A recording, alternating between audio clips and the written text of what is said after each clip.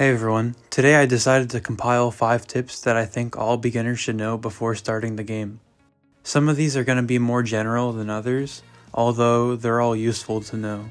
To start off, for every banner, when using free crystals, only the first summon is going to have a 5 star guarantee. After that, for every free crystal multi-summon, they're going to have regular rates.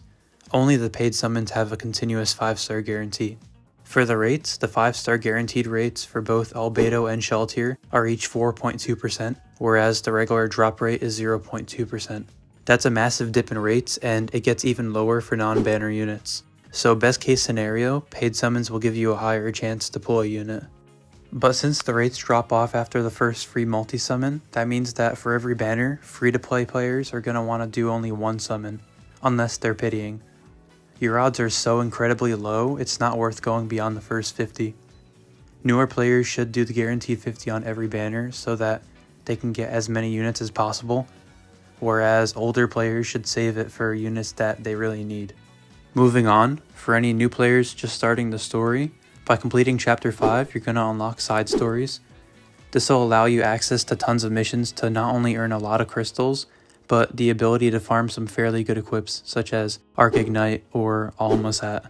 For the third tip, by limit breaking a duplicate character, it will give you 500 Alch, and when you limit break a unit that is already max limit broken, it'll give you a rainbow gem as well. What this means is that you're going to want to save every unit that you get. However tempting it may be to sell your units for Alch to summon, it's not worth it. The only Alch that you're going to be missing out on is going to be the very first 500 it takes for the unit itself.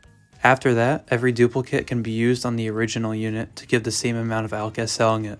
So make sure to save every unit possible because they'll become your main source of rainbow gem farming. For the fourth tip, if you're planning to farm a lot in multi with other players, make sure that you have your chat on before you host the mission.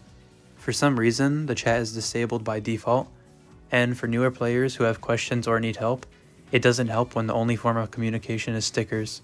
So make sure that you check the enable chat box before hosting a lobby. For the final tip, by limit breaking equips, it will lower the equips countdown. This one's a little more obvious, but since a lot of the equips you'll get as a beginner won't be max limit broken, they're going to have really long countdowns so you should do everything that you can to limit break them as fast as possible.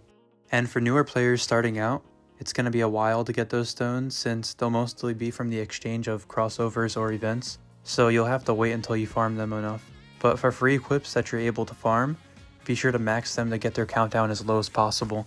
This will help to improve how fast you're able to cycle your equips, which will in turn boost how fast you're able to clear content.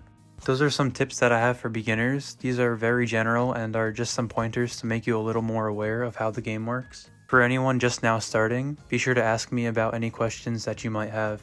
If you like the tips, I would appreciate it if you subscribe to the channel. Thanks for watching the video, and I'll see you later.